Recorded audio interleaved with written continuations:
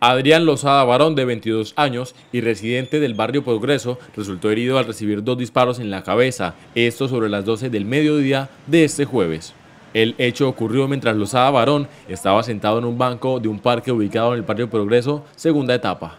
Los organismos de socorro arribaron al lugar y trasladaron a la víctima hacia la clínica Magdalena, donde su condición ha sido reportada como estable.